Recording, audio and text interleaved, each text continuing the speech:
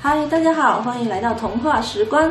下面我们进入魔幻陀螺竞技时间。今天呃，竞技的两款陀螺分别是焰天火龙王跟烈天狮鹫。下面让我们赶紧进入魔幻陀螺竞技场，看看这两款到底是哪一个更胜一筹吧。现在，焰天火龙王跟烈天狮鹫已经分别来到竞技场里面。呃，已经准备就绪了。那首先，他们都已经把这个觉醒灯给打开了。那么，我们今呃天的赛制也是采用三局两胜制。那在正式的比赛之前呢，我们先让两个来进行一个呃对战的测试吧。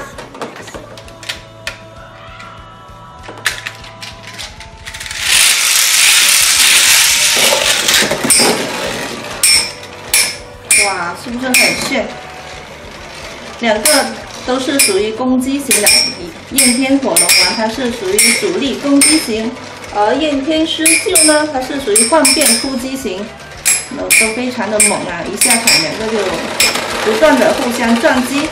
好了，我们的测试就先到这里吧，下面我们进入正式的比赛。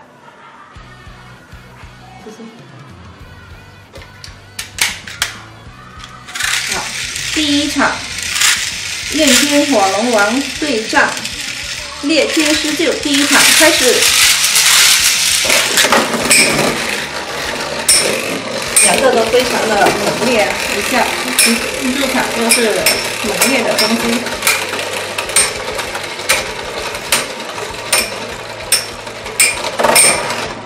第一场看来是焰天火龙王更胜一筹喽。来暂停一下，那下来，我们再进行第二场。开始，一、二、三，开始。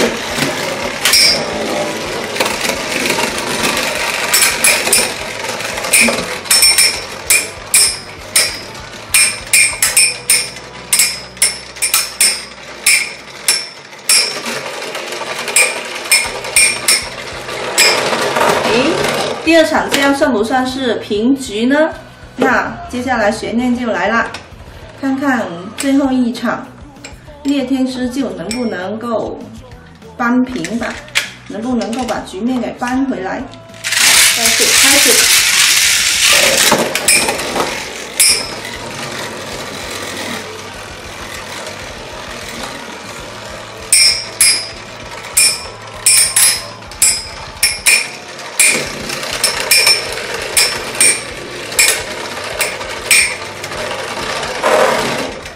哎呦，看来烈天狮鹫还是没能够扳平啊！